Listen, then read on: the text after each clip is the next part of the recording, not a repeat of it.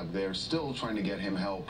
Uh, we told you they had attempted uh, an intervention, which did not work. He rejected that. He was says furious. Not going to any rehab. So now they're trying a more gentle, uh, loving approach. Yeah, so the other, um, you know, of course, Khloé and all the Kardashians were trying. So now his other side of his family, his immediate family, we're told, um, is basically saying that we're going to say, oh, you know what, we love you a lot, we support you, and just try the whole I love you technique and think that to show him that way that he'll end up changing his mind. I, I don't understand that because the, because interventions are all based on love. It's just Right. some love is tougher than others, but it's all rooted in love. It's all so rooted if he's in not, love. If he's not approach. going to deal with the Kardashians, with whom he really bonds, then why would he why would he deal with a more gentle approach? Well, It maybe make maybe it's good cop, bad cop. No, but he has kids and other people who also could possibly get to him in that situation. If they're like, oh, okay, you know what? I'm just using them as example. Like he has two, you know, a son and a daughter. If they'd be like, oh, daddy, you know what?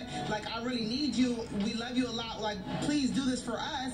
Will you do it? Then It's good cop, hopefully- bad cop. If, if if the Kardashians were attempting a more like uh, you know traditional intervention where it's tough love, uh, and then you have the other his immediate family comes in and they do uh, you know not so tough love, and they're the they're the good cops. So then maybe he goes along with what the good cops are. saying. Yeah, I, I gotta say, I, I mean, know. It's Lamar, not- Lamar Odom, you know, this is just such an example of how horrible a drug problem is Right. and how some people can't be saved. And I hope, I hope Lamar can because he's really a good guy. And, you know, there are some people, it just doesn't work. It just doesn't work. And they have tried everything with him. Hey this is Vivian in Dallas, and you know what? Where there is life, there is hope, and they just have to keep going for it with Lamar. I'm so glad to see that he has so many family members and friends who really want to help fight for him and who want to help him fight for himself. So, you know, what do you do? As long as he's alive, as long as there's hope, you keep trying because you just can't give up on the people that you love.